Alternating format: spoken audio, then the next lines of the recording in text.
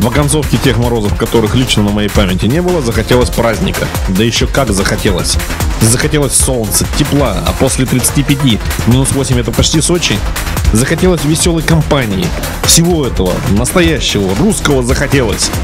Россия, кстати, и теперь уже довольно заметно возвращает традиции меценатства. И праздники, организованные не на бюджетные средства, привлекают больше внимания и проводятся веселее. Комплекс «Русские бани» на Малиновой в третий раз устраивает праздник Масленицы, традиционно российский и с традиционными забавами.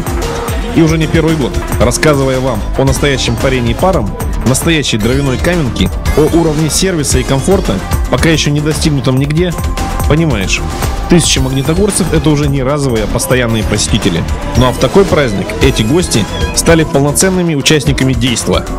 Лазали на шест за богатыми призами, рубились подушками на бревне и перетягивали канаты. А призы, естественно, были предоставлены руководством русских бань на Малиновой.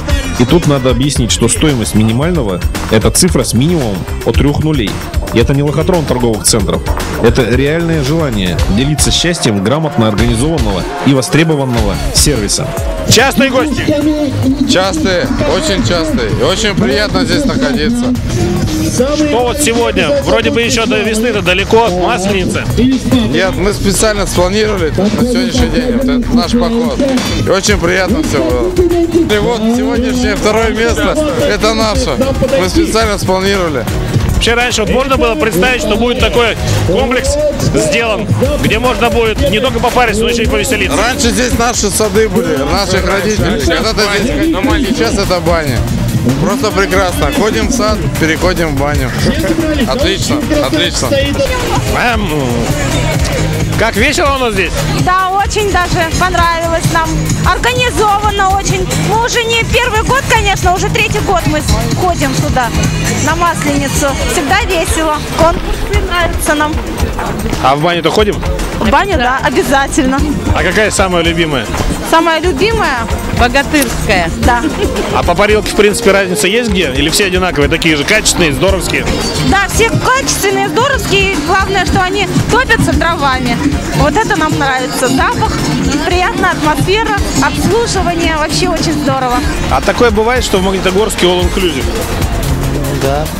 То есть бутербродик, э, глинтвейнчик. Ну как, оно весело? Очень. Приехали сюда специально на праздник или побариться? И то, и другое. То есть совмещаем два в одном. Да, А часто сюда приезжаем? очень. Ну что, приятного аппетита. Спасибо. А что решили сегодня попробовать? Шашлык пока. Как вкусно? Да.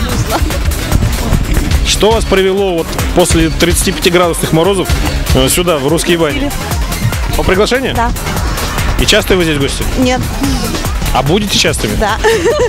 Ну рассказывай, как оно? Настоящая мужская пища. Хорошо. Вкусно. Вкусно. Вкусно очень. А весело? Да. Действие по своим масштабам, естественно, вылилось за территорию комплекса. Любой желающий абсолютно бесплатно мог прокатиться на квадроцикле, детям пони, взрослым упряжка. Шашлык, плов, чай и глинтвейн. И то, что покрепче.